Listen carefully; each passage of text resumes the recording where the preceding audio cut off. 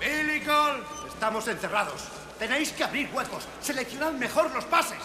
Billy Cole, te llaman por teléfono.